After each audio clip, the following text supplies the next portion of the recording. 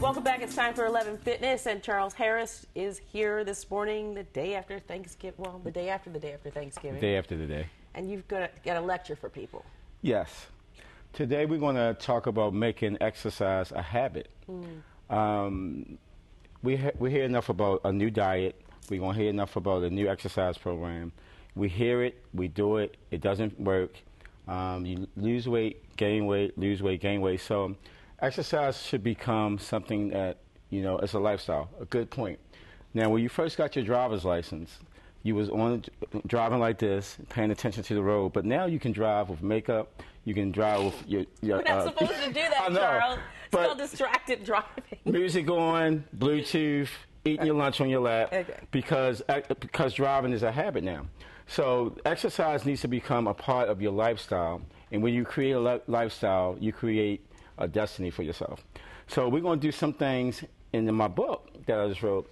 We're going to really. It's called I am, I am too, too cute, to sweat. to sweat. It's about me.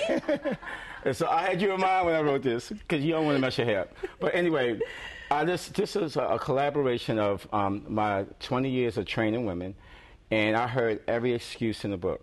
So I wanted to address ways to overcome their excuses. Like I don't want to mess my hair up. I don't have I want to mess my nails up. I don't want to mess my makeup up. But I still want to look good. Nails. Yeah. What? I don't want to chip my nail when I do my weights. So basically, what we're going to do is use this program in the privacy of your home. So, for an example, you're going to set your home up like a gym. The kitchen is one, one part of your gym, your bedroom, your living room, your dining room. So, each area of your home should be a place where you work out. So, for an example, when you go to your kitchen, you could, every time you put something in the microwave, you do your shoulder raises like this for 30 seconds, okay? Okay, where are the weights in your pantry? in your pantry, wherever you wherever you see it. You want to make it visible. So you, you just create um, your kitchen as a gym. Secondly, when you go to your bedroom, you can have the bands in your bedroom. So you just go to your bedroom every time. You might go to the bedroom ten times a day. You just do your bicep curls. All right. Now this is going to be funny. Every time you go to your your uh, commode, have weights next to your commode. It's going to be funny, but just think about it. You're sitting there anyway. Do your shoulder press. All right. Unique, but it's going to be effective. You follow me so far? I, I, it, Every time you go up your stairs, have hand weights, run up your stairs, put the weights down, jumping jacks, yeah. Grab the weights, go back downstairs, jumping jacks. Right. So that way, in your daily routine, you're working out anyway. And if you do this for 21 days, you create a habit. Okay, I'm laughing. Because, Okay? You like because- that?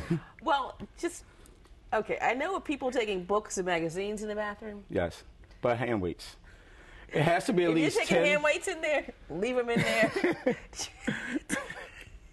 But you, look, Charles. Who needs? Go ahead, talk about it.